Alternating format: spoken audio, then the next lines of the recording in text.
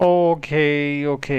Video número 131 del curso de FAST API. Avanzamos al tema de security. La introducción a la seguridad. Voy a cerrar este archivo, este panel, cancelar la ejecución de, de la API anterior. Ocultamos el panel de terminal. Introducción a la seguridad. Hay muchas maneras de gestionar la autorización y autenticación. Es un tema particular de la seguridad. Eh, permítame y activo la herramienta de resaltado. Voy a desplazarla a la, a la derecha. Está un poco lenta. Hoy la reiniciaré porque realmente sí está lenta. A ver, Epic Pen. Ese es el nombre de la herramienta que utilizo para resaltar en pantalla. Dibujar esencialmente. Ahí se está inicializando. Y suele ser, mientras tanto, podemos decir aquí que suele ser un tema complejo y difícil. Puede presentar cierta dificultad. Genial. En muchos frameworks y sistemas, el hecho de gestionar la seguridad, la autenticación, toma una cantidad de esfuerzo representativo y el código en muchos casos puede ser del 50 o más, el 50% o más del código que se escriba. ¿Qué nos ofrece Fase API? Dice que provee herramientas que nos ayudan a gestionar la seguridad de una manera fácil, rápida y de una manera, de un modo estándar, sin tener que estudiar y aprender todas las especificaciones de seguridad. Antes de ir ahí, necesitamos comprobar algunos conceptos. En breve podríamos decir, si no nos importa estos términos, podemos eh, agregar seguridad y eh, con autenticación con la combinación de credenciales, nombre de usuario y contraseña. Y podríamos para ello saltar a los siguientes capítulos. Aprendamos los conceptos, que es algo relevante, crucial para tener aplicaciones seguras, saber más y qué es lo que estamos escribiendo. El estándar o out. ¿Qué es esto? O out, bueno, es, es una especificación en, en concreto. Esta especificación define los distintos modos de gestionar la autenticación y la autorización. Es una especificación bastante extensa y, cobre, y cubre, perdón, y cubre varios casos de uso muy complejos. Incluye maneras de autenticar utilizando terceras partes. Las terceras partes, hablemos de Facebook, Facebook Google, Twitter, GitHub, entre otros. Y también podríamos crear nuestros propios sistemas de autenticación. Hay una versión que es OAuth 1, la versión, la primera versión de esta especificación. En aquel entonces, cuando existía OAuth 1, que difiere bastante de la versión actual, resultaba más complejo e incluía diferentes eh, especificaciones de cómo encriptar la comunicación entre las diferentes partes. O out no necesariamente especifica cómo encriptar la comunicación. Y lo que espera realmente es que la comunicación se realice utilizando el protocolo HTTPS, el protocolo seguro para el intercambio, podríamos decir, de datos a través de la red, el protocolo HTTP seguro. Una sugerencia, en esta sección acerca de desarrollo veremos cómo configurar HTTPS de manera digamos fácil utilizando Traffic. Traffic Suena como a traffic, pero es traffic. Y Lex Encrypt. Seguramente este es otro servicio. OpenID Connect. ¿En qué consiste esto? Habilitaré aquí la herramienta de resaltado. OpenID Connect es otra especificación que está basada en OAuth 2. Básicamente extiende OAuth 2 especificando algunas cosas que son, digamos, relativamente ambiguas respecto a OAuth 2 y trata de hacer de que este, esta especificación sea más interoperable.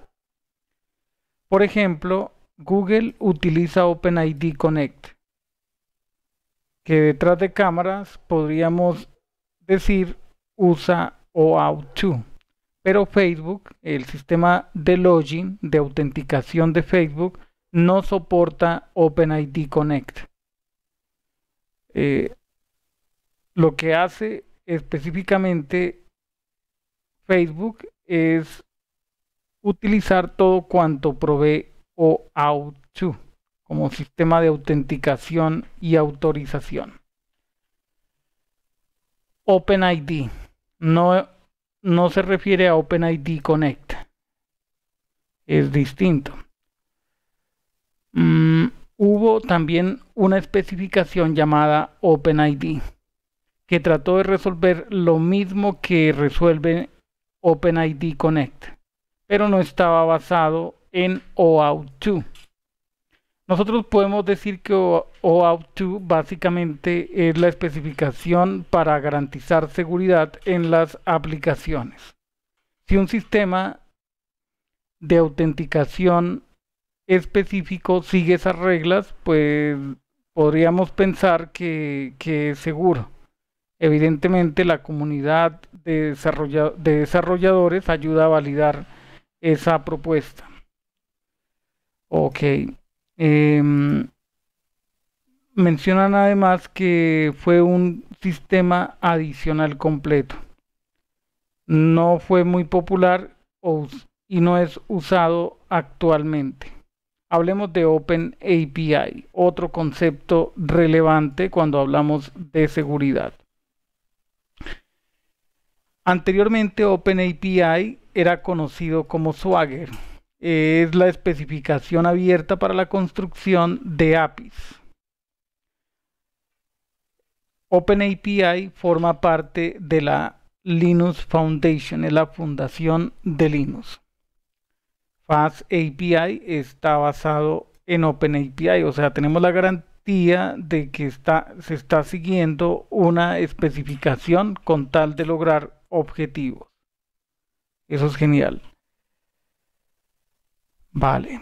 Entonces, eh, todo esto permite que se tengan múltiples sistemas o interfaces de documentación interactiva, generación de código, etc. OpenAPI tiene una forma de definir distintos o múltiples sistemas o esquemas de seguridad al usarlos podemos eh, tomar provecho, sacar provecho de, de las herramientas que son estándar, incluyendo sistemas de documentación interactivos.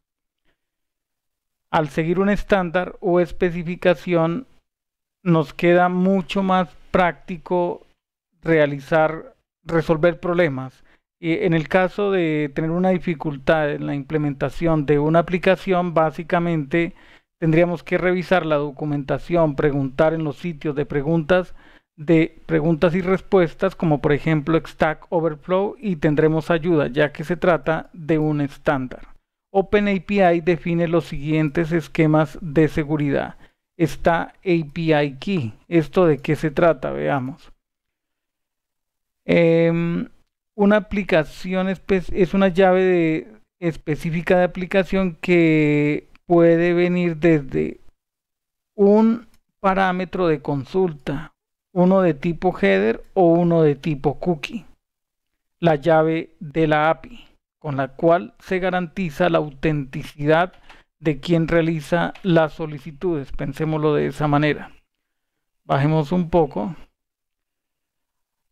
Otro de los esquemas de seguridad es HTTP. Los sistemas de autenticación HTTP estándar incluyen Beer, Beer. Es un encabezado de autorización con un valor de Beer junto con un token. Esta es básicamente es un heredado de OAuth2 si se puede decir de esa manera, es legado, viene desde ahí, desde, desde esta especificación. También podemos utilizar la autenticación básica HTTP, es un formulario que tiene apariencia de una ventana tipo alert de JavaScript. Otro esquema de mm, otro sistema de autenticación estándar de HTTP es HTTP Digest todos estos conceptos nos ayudan a entender mejor de qué, qué podemos hacer para que nuestras aplicaciones sean más seguras. Hablemos de OAuth 2, que es otro esquema de seguridad. Todas las maneras de OAuth 2 eh, para gestionar la seguridad también se conocen como flows, flujos. Varios de estos flujos son apropiados para la construcción de proveedores de autenticación basados en OAuth 2.0 Sistemas que utilizan este, esta especificación están Twitter, GitHub, Facebook, Google, etc. Ahí vienen otros conceptos que son implicit, client credentials eh, y código de, de, autorización, authorization code. ¿Listo? Em, eh, eh, exactamente estos vienen a ser los, los flujos pero hay uno, un flujo específico que puede ser perfectamente usado para gestionar la autenticación de la misma de, en la misma aplicación de, forma directa, password. En algunos siguientes capítulos cubren ejemplos de este esquema. OpenID Connect tiene un modo de definir cómo, cómo descubrir datos de autenticación o out2 de forma automática. Este descubrimiento automático es lo que es definido en la especificación OpenID Connect. Aquí hay una sugerencia, un tip. Al integrar otros proveedores de autenticación, autorización tales como Google, Facebook, Twitter, GitHub, etc., también es posible eh, lograr eso, o sea, crear nuestros propios proveedores de autenticación de manera relativamente fácil. El problema más complejo es al construir un proveedor de autenticación como estos, pero Face API nos da las herramientas para hacerlo de forma fácil. ¿Listo? Utilidades de Face API. Face API provee diferentes herramientas para cada uno de estos sistemas de seguridad en FaceAPI.security. Podríamos decir que security es un submódulo de la librería del framework web FaceAPI que simplifica eh, utilizando mecanismos de seguridad integrados. En los siguientes capítulos veremos cómo agregar seguridad a la API utilizando las herramientas que provee el framework Fast API. Y también veremos cómo eh, se obtiene una integración, eh, digamos, la integración con los sistemas de documentación interactivos. Dejaremos hasta aquí y ya continuaremos en el siguiente video. Hasta la próxima.